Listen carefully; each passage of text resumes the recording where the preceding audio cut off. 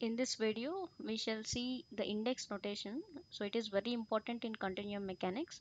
So we need to represent the vector and tensor quantities to the basis Cartesian coordinate system. So it is uh, very helpful in mathematical operations. In order to present coordinate expressions relative to right-handed or orthonormal system. So right hand uh, right hand rule is nothing but when you use three fingers of your right hand so uh, if you put them mutually perpendicular. So one is representing x one is represented y uh, representing y and another represents z axis. So that is right hand orthogonal uh, or orthonormal system. So we can introduce a fixed set of basis vectors like e1 e2 and e3 so sometimes we can also represent them as i j k. So they are called as a basis vector uh, with following properties so uh, so this is dot products right? Unit vectors having dot products e1 dot e2 e2 e1 dot e3 e2 dot e3 so how they will be? So all will be zero. So this is how they are. So e1 uh, dot e2 is nothing but. Whenever you see dot so that is nothing but. So if you multiply those um, unit vectors with cosine of the angle between those mentioned vectors so when they are orthonormal, so per mutually perpendicular to each other, the angle between them is 90 degrees, cos 90 is 0. So E1 dot E3 the same. So E1 and E3 are perpendicular, E2, E3, E2, uh, E3, E2 are perpendicular, E2, E1 are perpendicular. So all similarly, if you take E1 and E1 dot E3, the angle is again 90 degrees, 0. E2 dot E3 will also be 0 so second one it says uh, e1 dot e1 is equal to e2 dot e, uh, e2 is, is equal to e3 dot e3 is equal to 1 this is not 0 this is 1 so that is uh, e1 dot e2 so when you simply save this um, just a minute please. So when you save this so when it is in same direction e1 dot e1 angle between the unit vector e1 and unit vector e1 so that is nothing but angle 0 right? Cos 0 is 1 and e1 into e1 so if you multiply both of them that is also 1 because these both are unit vectors the magnitude is 1 for both. So e1 magnitude will be 1 this magnitude will also be 1 1 into 1 into 1 cos 0 is 1 so finally we'll get 1 similarly e2 dot e2 so that is also uh, angle between e2 and e2 the same vector right? So that is 0 1 we will get again e3 dot e3 will also be 1 so these are the uh, properties you need to remember. We will come to index notation. Uh, so any vector u in three dimensional euclidean space is represented by a linear combination of the basis vectors. So that is nothing but u is a vector. So that is equal to u1 e1 plus u2 e2 plus u3 e3 so this is a vector in this direction u1 u3 uh, u3 direction. So u e3 is a unit vector and this is the actual length of the vector u3 right? So these are real numbers. U3 u1 u2 u3 are the real numbers. So how much is a magnitude is multiplied by this e3 for example u e3 is one uh, not for example e1 e2 e3 will also be one single. For example this is u3 that is having 3 units of magnitude so then you have to substitute here 3 into e1 3 e1 like that. So in e3 direction you have you can map that is 3 in u2 direction sorry e, uh, e2 direction we have u2 in this way e2 direction. And u1 direction this is so e1 uh, we have in this way u1 e1 plus u2 e2 plus u3 e3 so if you add all the vectors you will get the resultant vector u so vector u with its cartesian components u1 u2 u3 so you are representing with, uh, with the basis right? E1 e2 e3 are the basis vectors. So if you see the components of e1 e2 e3 so in direction of e1 the components are 1 comma 0 comma 0 so it is having only uh, first coordinate system. So it is 0 1 0 0 e2 if you see the second coordinate will be active that is 0 1 0 e3 so the third coordinate will be active. Third coordinate will be 1 so other two remain components will be 0 0 0 1 now using index notation subscript okay we can write this equation. This equation as sigma uh, u is equal to sigma i is equal to 1 to 3 so u, u1 u2 u3 we have right? So 1 2 3 ui ei so here i is equal to uh, ranging from 1 to 3 so if we leave out the summation symbol so we can if we just remove the summation symbol what we get here? It is simply ui ei so that will be uh, we are just removing the summation um, rule. So that is nothing but uh, Einstein's summation convention. So he says so if you just remove the summation symbol and one index is repeating twice then it is obvious that it is um, th there is a sum there is sum between that that is called as a summation convention let us see that in detailed manner so this summation convention says that whatever an index is repeated only once in the same term so then the summation over this range of index is implied unless otherwise indicated so we consider three-dimensional Euclidean space characterized by Latin indices small i, j, k running over 1, 2, 3. So we denote the basis vector by ei. So i uh, belongs to 1, 2, 3 is a set. So the braces here, so that will indicate a fixed set of basis vector and this is a tensor element. These braces will indicate uh, the fixed set of basis vectors and inside you can see this uh, symbol that is that can be any tensor element.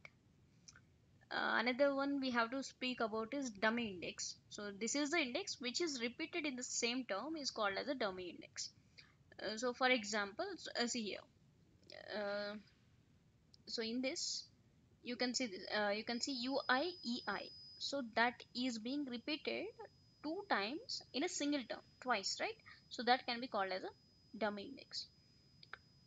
Range convention if we see uh, let us consider a system of algebraic equations uh, like this a11 x1 a12 x2 a13 x3 uh, plus up to so on plus a1n xn so uh, that is equal to b1 so second one a21 x1 a22 x2 plus a23 x3 and so on up to plus a2n xn is equal to b2 uh, and this 1 2 will continue up to n. So a n1 x1 plus a n2 x2 plus a n3 x3 and up to so on plus a n n xn so that is equal to bn so now we can uh, write in a compact form uh, as a i1 x1 plus a i2 x2 plus a i3 x3 and here a will uh, go from 1 2 3 up to so on n. So here bi so wherever is there so first index that I, am taking it as i. And even more in compacted form we can write it as a i1 x1 uh, so because uh, without mentioning that we can write the same. So that that can be a more compact form. We are we are writing only this without considering this without mentioning this this is called as a range convention this one. So as we have taken a system of equations in a range uh, taking an index so that is ranging from 1 to the mentioned limit so that is called as a range convention. So here the subscript i is called as a free index or free subscript. Uh, so it is free to take uh, values from uh, its range. So i can range from 1 to n we can also write the equation replacing i with j. So that is also acceptable. A j1 x1 a j1 x1 a j2 x2 a j3 x3 and so on up to a jn xn is equal to bj so that is also acceptable. So i have just replaced i with j. So otherwise let us take our equation uh, a i1 x1 plus a i2 x2 plus a i3 x3 and so on up to a in xn uh, that is equal to bi now we can write even in more compact uh, form as uh, summation j is equal to 1 to n it is another index. A i j xj so it is being repeated. Uh, so we can call it as a dummy index. Now, so we can simplify it further. Agreeing to drop the summation sign. So according to einstein convention so we can just remove off this summation convention and we can write this. So that is uh, uh, that is known as einstein uh, summation convention. We are just removing the summation sign so whenever there is a repeated index like here j is being repeated right a i j x j so whenever index is being repeated, that is an indication that it is summing up. It is sum of uh, the different terms. The subscript j is called as a dummy subscript or repeated index or dummy index as it repeats itself in symbol group. So note that a i k x k is equal to b i uh, is identical and valid. So it, it can be written uh, in the same way. So that is acceptable and valid. Same uh, similar type. No subscript is allowed to appear more than twice in any symbol group. Uh, so for example a i i x i is equal to bi it is not valid. So it can not be repeated in the same term twice. Uh, uh, for same symbol group twice so uh, these are the important note about this indicial notation. Uh, the number of indices is called as a rank of tensor how many indices are there? So that accordingly we'll, we'll call it as a uh, rank of a tensor we'll relate it to the rank of tensor uh, the range of an index is determined by dimensionality in space. So for example here m you can see the, there is no index. So m we can represent directly. That is a scalar. It is having no direction. Zeroth order tensor uh, as we have discussed in the previous video. Uh, velocity is vi so it is having one direction. It is represented by one index so one direction. So v is a magnitude i is a direction. So that is called as a vector. It is first order tensor. And you can see this uh, stress sigma ij so you have one magnitude sigma and two directions ij so that is called as a tensor. It is a second order tensor so whenever we call it the tensor so generally we are uh, referring to as second order tensor. So index which is appeared once that is called as a free index. So for example in this in this valid uh, expression we can say j is a dummy index which is repeating repeating dummy index. Okay so uh, here uh, free index. So free index is another one. It, it appears only once. A i j x j so that appears once that is called as a free index. So uh, in the expression i have shown you i is the free index here j is the dummy index. And index appear twice that is called as a dummy index. So same index should not appear more than twice. We shall see some examples a i b i. In order to expand it so that is uh, taking summation i is equal to 1 to 3 a i b i so that is nothing but uh, a1 b1 plus a2 b2 plus a3 b3 so second one if you see aik a i k n k.